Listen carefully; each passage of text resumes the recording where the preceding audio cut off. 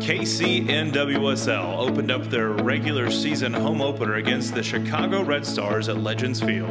You always know cities that there's a different culture about a city that embraces sports. Um, and this is one of those cities that already knows how to do it. But seeing how this city has embraced women's sports is really something very exceptional. Phenomenal, phenomenal atmosphere, phenomenal uh, just the spirit and the feel and the environment here, uh, and just the support that this team is getting from the community is unbelievable.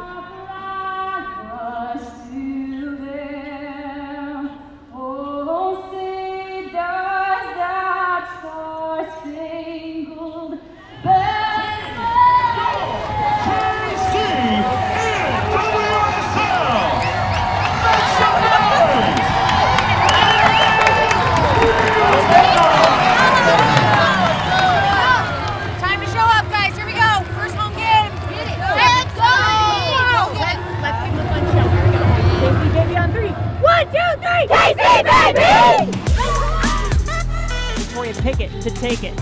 Kansas City has looked dangerous off the direct corner kick. Pickett to take it again, headed toward the goal. It bounces around a couple of times. A follow-up shot is out. We get better. That's that's the bottom line. We get better. As Vic said, this is a learning experience for us.